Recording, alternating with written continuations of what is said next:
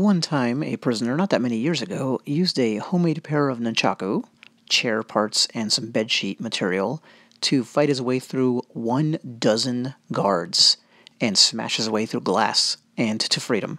Temporary freedom, but they did the job.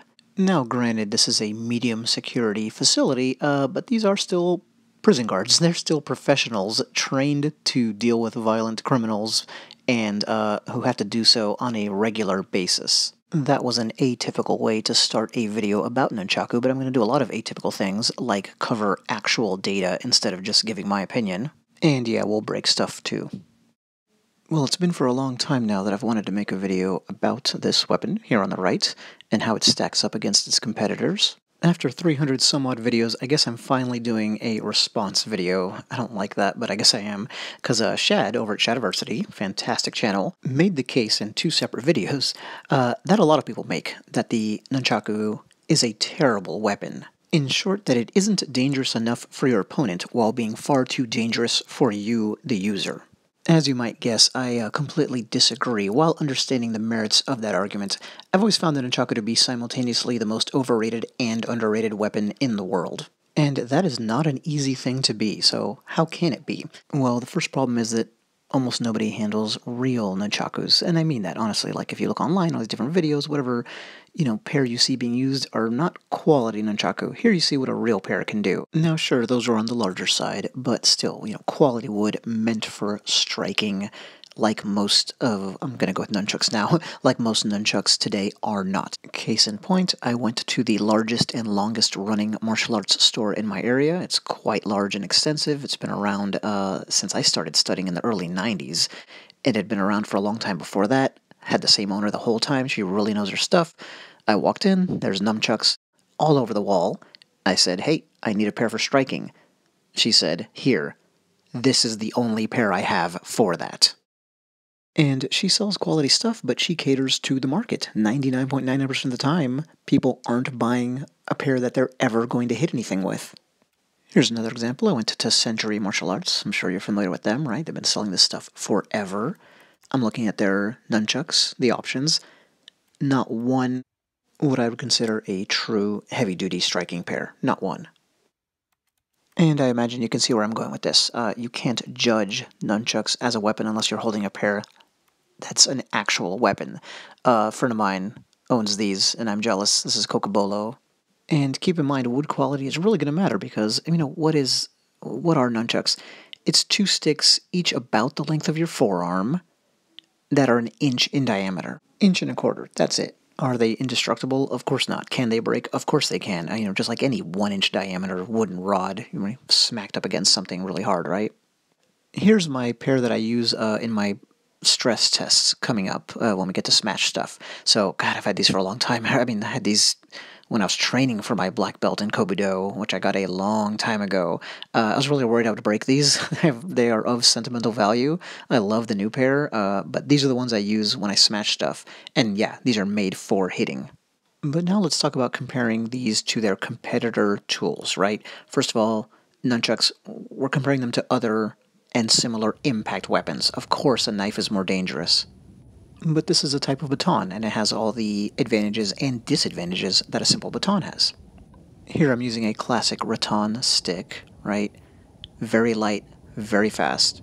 Here's my homemade shillelagh that I did a video on a long time ago. Much more stout, much slower, but it's going to hit much harder. Especially because I loaded the inside of the striking head with metal. But look at that beast. I can't hide this thing. Not at all it's not concealable. Just holding it, even if you just appear to be using it as a walking stick, uh, any fool would know that you are armed. You have something you could use as a weapon. What about a much lighter and much thinner stick, though? So, back to the speed comparison here. Where I'm going with this, guys, I'll just skip ahead, is the Nunchaku gives you the speed of the light tool that I've been handling here, but with the heft, the impact of the heavy tool. I watched seemingly every video on the Nunchaku that there is on YouTube, uh, not just Shad's, and I don't think anybody kind of makes this point. It's really underappreciated. And back to the concealability, even this feather light rattan stick cannot be hidden at all. I mean, it's basically the size of a, size of a sword. Meanwhile, one of the real killer apps with nunchucks is not only can they be easily hidden, but they can lash out instantly from full concealment to full power. And not only can they do that, they can do it at the length of an extended baton. Not just a baton. Keep in mind the shillelagh and the eskrima stick there are not just longer, but much longer than a standard single stick. For instance, back when American police carried uh, wooden hard clubs, they weren't much longer than a foot. The quote unquote nightstick, meant for extra hazardous night duty, was two feet long, actually a little bit more. So the nunchaku can go from full concealment to striking at nightstick length. Speaking of swinging, you swing a nunchaku like you're actually going to hit something, with power, with extension, not like you're a majorette on the cheer squad.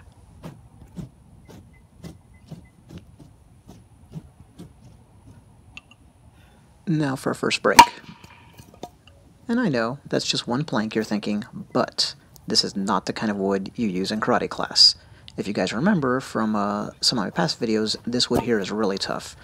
Neither an all-metal ASP baton nor an all-metal jutte were able to do anything except slightly dent that wood. Meanwhile, my nunchaku were almost unscathed as they tore through it. There you see the damage. Very small. And again, we're talking about wood that this guy here, jutte that my buddy Derek made for me, all steel, solid, didn't even come close to breaking. And for those of you who saw the video, you might recall I hit the wood with the ASP and with the jutte exactly as you would hope to. Not with the flat, but with the tip, at an angle, digging in, I mean maximum concentration of force, and all they could do is put dents into the wood that perfectly fit the head, right? It was like a puzzle piece. Uh, and they probably went in like, I don't know, a quarter of an inch, something like that. And the bottom line here is I can guarantee you I would not want to take a shot to the cranium from either that ASP baton or that steel jutte. Meanwhile, I think I proved conclusively the wooden nunchaku hits much harder. And by the way, the damage here shows that I also struck appropriately with this tool, right? With the edge, maximizing the force. That's obviously much easier to do against a stationary target, but if you train with this thing as an actual weapon and not a majorette twirling baton, that's how you should naturally strike. And that's what I did. I didn't think about that when I struck the board, and that was a full power swing. I just naturally hit right with the edge. So, one, I guess I'm patting myself on the back for my technique, but more importantly, it really was an apples for apples true comparison with the three instruments. And now, understanding that these planks are something that would break your hand before they would break, let's test my assertion about going from concealment to full power. Raise my hand for distraction. Boom. Hey, I don't want any trouble. Half a second later, significant impact delivered at a, you know, formidable length, like we said, right? Nightstick length, extended single stick length. Those of you familiar with the Lamb method for the police baton would recognize this movement here, this shot to the leg. Obviously, with a strike like this, you get to follow through more than you would in like a combat swing, but we're going to get to that too, so don't worry. Like here, right? This is a full follow through. Notice I raise my left hand to allow the weapon to swing over. Something that a lot of people miss about this, you don't have to catch the nunchaku in combat. In fact, doing so robs you of one of the weapon's unique advantages, which we're going to get to, which is the very fast 100% counter swing. Hey, look, it's the great Bruce Lee, the man absolutely responsible for the Nunchaku becoming a worldwide sensation. So let's talk a little bit about the weapon's history and use, and this is part of how it can have such diametrically opposed schools of thought. Shad and others saying it's, quote, garbage, and also basically at best better than nothing, or so badass and dangerous that basically every government on Earth has to treat it like it's as dangerous as, I don't know, a hand grenade. Here's uh, Sensei Demura, by the way, and man, back in the day, his uh, books and videos, that was the stuff. You'd get a hold of one and try to replicate the moves. He did a lot to popularize this weapon at Kobudo in general. Anyway, it was things like this, but especially the movies, and especially Bruce Lee, of course, that made this weapon so popular that we actually have a lot of data about how effective nunchucks are or are not, but it's actually modern Western data. I mean, we actually know more about them from 1970s and 80s American street criminals, you know, New York gangs and whatever, than we do about how they were actually used or how often used in Okinawa back in the day. Well, being a weapons author and researcher, I want to go with documented evidence, expert opinions, things like that. I'm not just going to give you my opinion. So here's a classic book by the legendary Massad Ayoob. And this is a real time capsule. This is neat. Just listen to this verbiage here. Fad weapons come and go among the street punks guns, knives, bludgeons. The basic concept is always there, but variations come in waves. Skipping ahead now. Bludgeons, too, have been updated. They call the new version by a number of slang names chucks, nunchucks, chalkers, karate sticks, killer sticks. True practitioners of the martial arts know it by a more revered name, nunchaku. So, how did a blue chip expert in street violence and police use of force, from the time when nunchakus were at the height of their popularity on the street, what did somebody like that think of them? Quote Nunchakus can be whipped into the legs with bone breaking force. In addition to the power packed momentum, the nunchaku has another lethal edge over other striking weapons range. Skipping ahead. The weapon looks inoffensive when held closed, and this can be dangerously deceptive to the officer. He may see a loiterer casually holding a set of closed set of nunchaku and approach within, say, seven feet, a distance that appears to be safe. Suddenly, with a flick of his right wrist, the punk snaps the weapon open and upward, nailing the cop. I did a series on this subject for Karate Illustrated magazine, which argued that the weapon is too destructive to serve as a less lethal police impact weapon. Disarming a nunchaku man barehanded is as foolhardy as attempting the same with a knife wielder. Now, I don't agree with every word I just quoted, by the way, but you get the point. Again, this is an expert opinion from the time of a high use. Here's a quotation from a different martial arts author. Anyway, my best friend back then had a set of Cocobolo chucks that were exceptionally nasty because they were octagonal. Skipping ahead, the octagonal profile had eight sharp corners along its length, which would break the skin with every strike. He carried them in his back pocket under his cut off flannel shirt and used them to beat several people into the hospital. Also, a guy who today runs a boxing gym, and I kind of looked him up after I found his comment on a message board, and it seems very legit. He has a LinkedIn profile about being the head of this boxing gym and everything. He was a Shorin-ryu guy way back when. He used a pair to incapacitate three attackers and send the fourth one fleeing. Meanwhile, my sensei himself saw these used in the street uh, back in, well, probably was the 70s. Said the poor guy you know, the one who'd been struck in the head looked like someone had taken a razor blade to him. These pictures are of my new pair, the ones from Japan, by the way. Ah, love it. Anyway, funny enough, I had to move this book out of the way to take the pictures. That was actually what was just sitting in the spot. And I also researched news articles. It's not hard to find, you know, cases of effective use like this one here. And in surveying real life cases and assaults, it basically comes down to they seem to be as effective as comparable straight baton at the least. You know, all straight batons from around the world, I mean, they're far, far short of a one hit, one, you know, one stop guaranteed a tool. Not at all.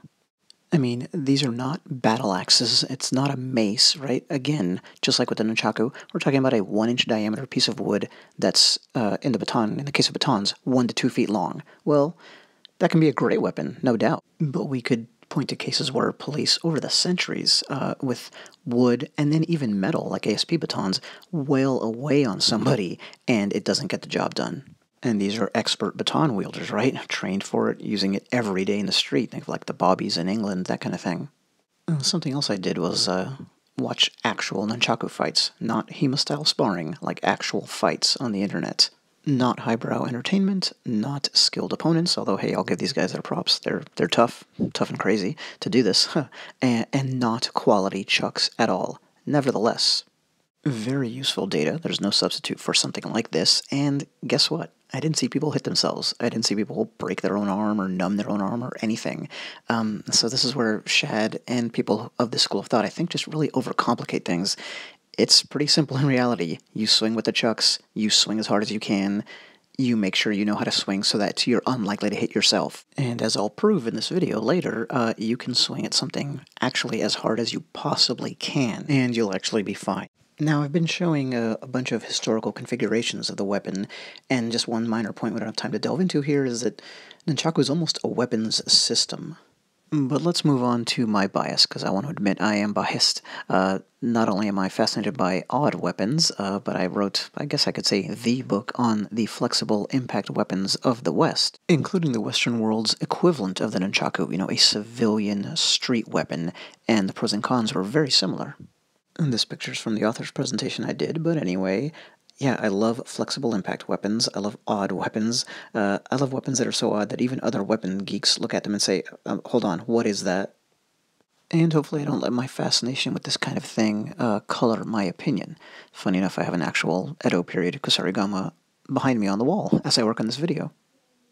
Now let's move on to some more smacking. This extra long baton is high quality, a very dense South American wood, and I put it up against poplar because the guys at Mythbusters said poplar is a good bone substitute. So this long, very dense hardwood club did not even dent the poplar. It sent it flying really far away, but didn't even dent it. Let's try my new white oak made in Japan chucks.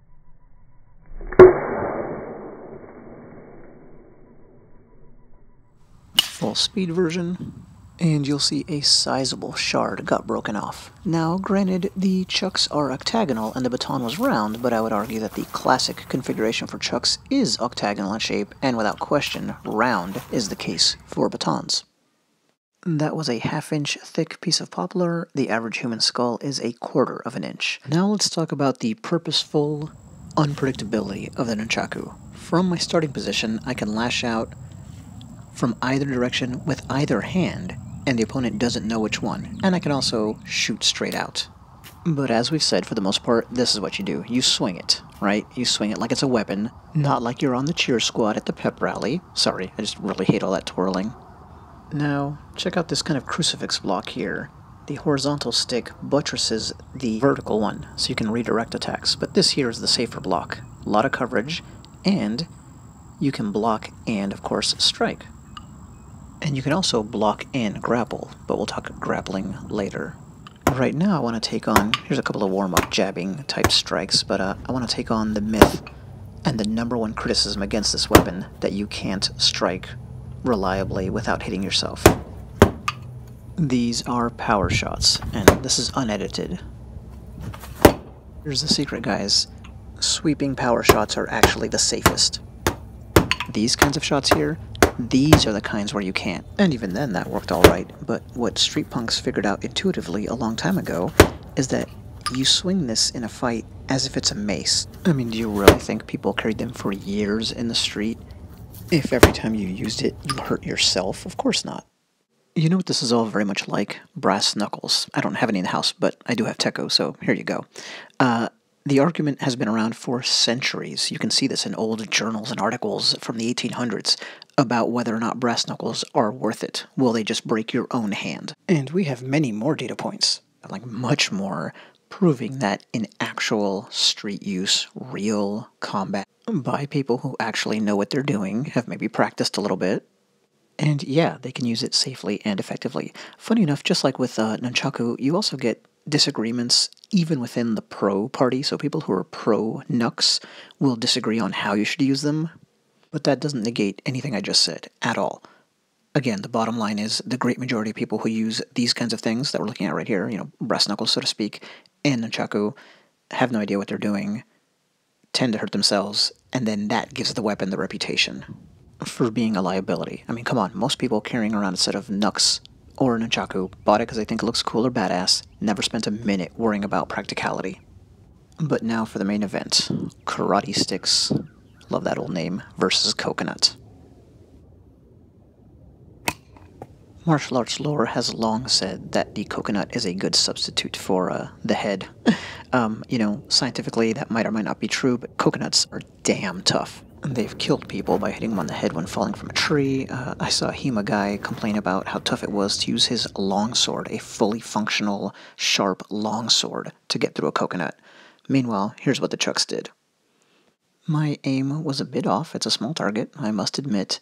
Uh, if I'd hit it in the center, I have no doubt it would have completely obliterated this thing. This is almost more impressive in a way as a demonstration of power, because it just sheared that shell right off. I actually did hit it right on the center line, across the center line, so that's good, because remember it was tilted 90 degrees to our left at the moment when I hit it, uh, but I should have swung a little bit further out to get it right in the center. Basically, I caught it with a glancing blow, and I absolutely would have thought that would have saved the coconut, uh, but it didn't, and that really speaks to the weapon speed and concentration of force to me. Here's something else pretty nifty. Uh, you can lash out in unexpected ways with these you expect that kind of a swing when you see me cocked back like that, right? Just like you would with a rigid baton. But you're not expecting this. Backhanded strike with the offhand instead of a forehand strike with the dominant hand, including down to the knee instead of up to the head or upper body. And let's be honest, your opponent is not expecting that. So, now back to this trusty single stick I've got here, and again, it's great.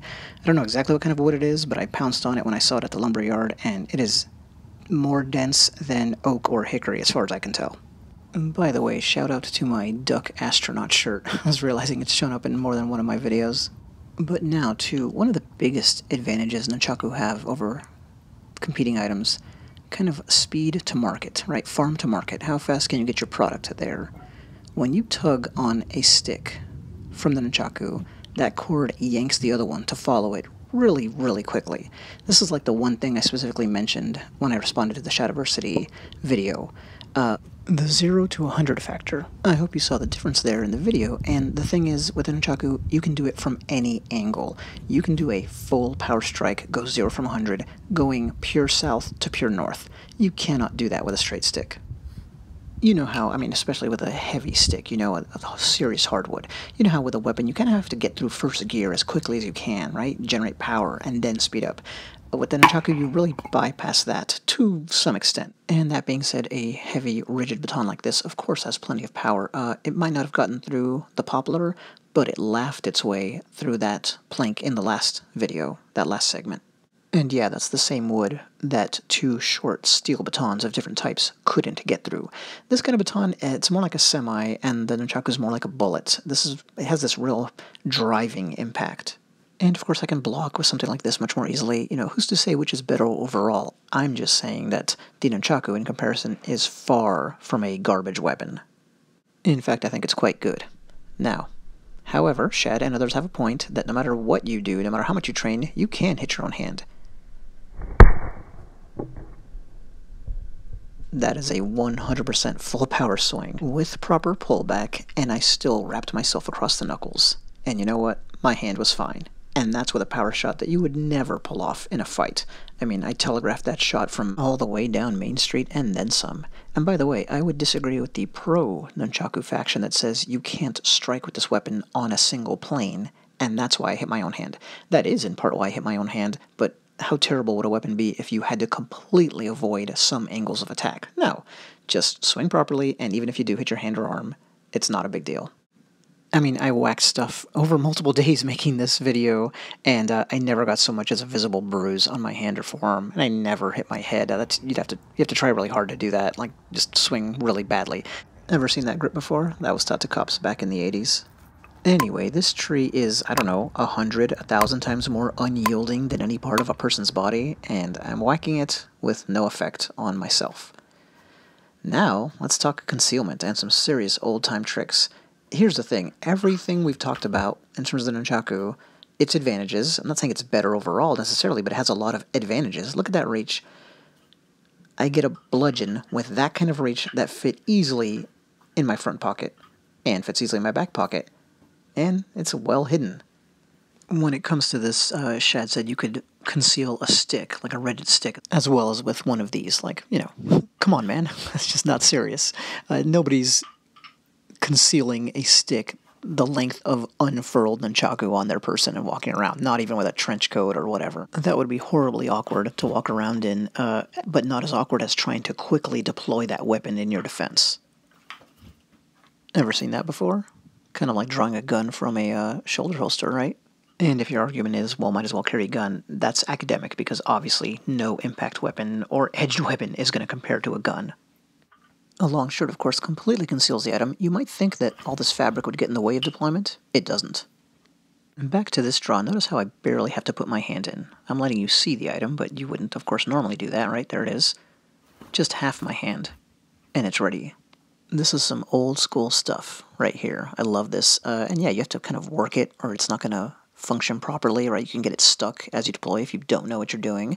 Uh, but people back in the day figured out how to do this. Speaking of back in the day, this is all for historical purposes, guys. Uh, it's probably illegal for you to carry nunchucks wherever you live, to carry them concealed even more so, and definitely to hit anyone with them, so don't do that. Now we got to move on to grappling because chucks are not just decent for grappling, good at grappling, they're great for grappling most of the big weapons slash martial arts YouTubers that have covered nunchakus don't even mention this aspect. Shadiversity, that video at least mentions it, but just dismisses it immediately out of hand with, uh, gotta say, no research. Uh, no, nunchaku are very effective. This is street proven. But before we get to that, I've been choked unconscious by belts, right, like martial arts, right, Brazilian Jiu-Jitsu belts, by sleeves, like a gi top sleeve. I've even been choked unconscious uh, with a t-shirt I was wearing. And I remember the guy applying the choke on me, and I was like, well, there's no way this is going to work, right? my t-shirt collar's just going to rip. Nope. I went to sleep. And, you know, yeah, I've been submitted on my arms and legs, and of course neck, uh, with just the human body, right, as the weapon. None of those compared to the exquisite pain of having what is basically a giant vice applied to you. Officer Day, quoted here, didn't know anything about nunchakus until he got trained with them, and he ended up finding them so useful for police work, he's now an instructor. How about a quote from a captain at a county jail? Two inmates were fighting and they couldn't be separated. Quote, I applied it to an individual's leg and pulled back, and he couldn't get away quick enough from the other guy. How about this? In 1988, the San Diego PD did a trial run. It was going to be a four month trial run. The officers testing it reported 312 uses, only 10 of which involved impact. So they used it hundreds of times to subdue people, using it on the streets, real situations, not dojo theorizing, to subdue antagonists. Police administrators canceled the final month of the test and went ahead and began training all their officers in the tool. That's how well it was working out. Nor is that the only time police successfully, you know, experimented with or used nunchaku in the streets, especially as a grappling tool. The problem is always the same. Their reputation is so nasty as an instrument that police can't end up carrying them for uh, public relations reasons. And this dovetails back to how in the world this instrument could be both the most overrated and yet underrated weapon in the world, which I really think it is. I spent a lot of time here trying to justify how underrated it is, and I think it is. How did it get to be so overrated? Well, because of this guy. this guy here, right? And entertainment in general. The pop culture consciousness thinks of Nunchaku as this horribly effective, vicious weapon and I think it is quite effective, but of course it's not what you see in the movies. You know what it's like? It's like the katana. You know, is the katana a good weapon? Absolutely. Is it the virtual lightsaber that movies would have us believe? Well, of course not. And it's subject to the same strengths and weaknesses as most swords. Same thing with this. The nunchaku is, at its heart, a wooden rod, and its limitations are going to be based on that surprisingly more so than by their unique configuration, their flexibility. And the myth of their lack of effectiveness is just based on a lack of research. Uh, like this guy right here. A man broke into a house in Burlington. The homeowner defended himself with nunchaku, one strike to the head, and the criminal had to be care flighted to the hospital. Meanwhile, the myth that it's too dangerous to the user is based on a lack of practice. You can't experiment with one of these things. Yeah, it's a complex weapon, way more complex than a rigid stick. You can't do that for just a couple of hours and know whether or not that's the case. Can you hurt yourself with it? Absolutely. People have knocked their teeth out. Uh, one guy fractured his own skull with it. And in every case I could find, that wasn't somebody swinging with it as a weapon. They were doing their little majorette baton twirling with it. You know, long before Bruce Lee introduced this instrument to the West, there was a saying in the West no fence against a flail, meaning you can't defend against a flail. Why? Because it can wrap around a block or a weapon and still hit you. I've done that myself in weapons sparring oh, a million years ago, but I did. Uh, it's a practical technique. You can see it in other martial arts with flexible instruments, like in uh, like in Kali with uh, the trapo just one more practical aspect of what I consider to be a very practical weapon. Thanks.